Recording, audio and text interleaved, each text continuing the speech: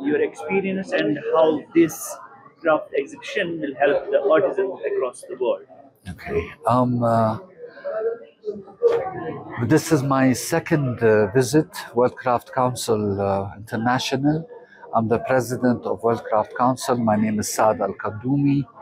Uh, I come from the headquarters, which is in the state of uh, Kuwait.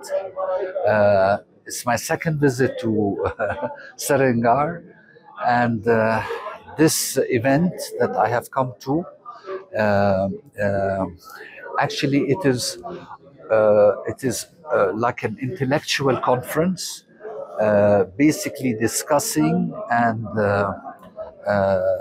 discussing all subjects related to the artisan's well-being.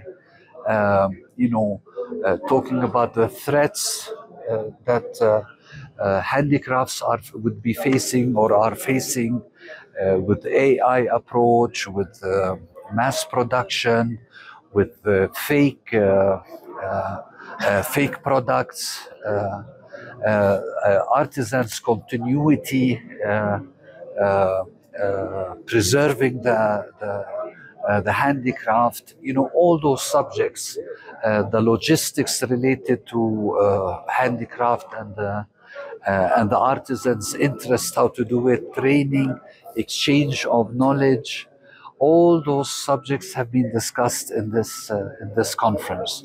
Uh, another purpose of this conference is is uh, you know it's a memorandum of understanding between World Craft Council and the Srinagar and the government of uh, Jammu and Kashmir on uh, cooperation with. Uh, uh, uh, about cooperation on many subjects related to uh, the betterment of uh, Srinagar from the craft uh, aspect and of course the interest of, of the artisans.